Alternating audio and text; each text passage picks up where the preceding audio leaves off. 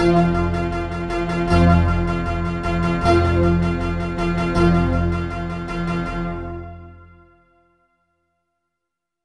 के इस टॉपिक में हम जानेंगे कि सिंगल एम्ब्रियो ट्रांसफ़र और मल्टीपल एम्ब्रियो ट्रांसफ़र में कौन सा बेहतर है सिंगल एम्ब्रियो ट्रांसफ़र क्या होता है और इसके क्या फ़ायदे हैं। सिंगल एम्ब्रियो ट्रांसफ़र का मतलब है कि एक भ्रूण को गर्भाशय में डालना।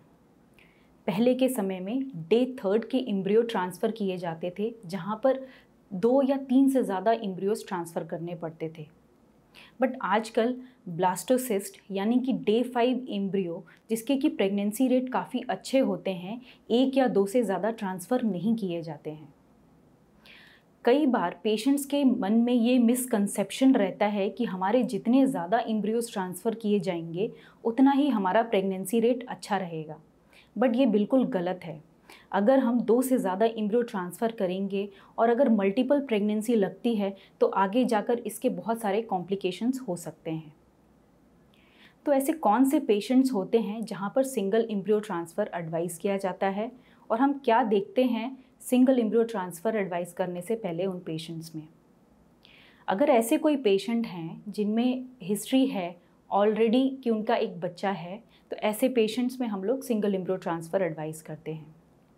ऐसे पेशेंट्स जिनकी बच्चेदानी में किसी तरीके की बनावटी दिक्कत है यूनिकॉर्नुएट यूट्रस या बाइकॉर्नुएट यूट्रस जैसी कोई भी दिक्कत है तो ऐसे पेशेंट्स में भी हम लोग सिंगल इम्ब्रो ट्रांसफ़र एडवाइस करते हैं।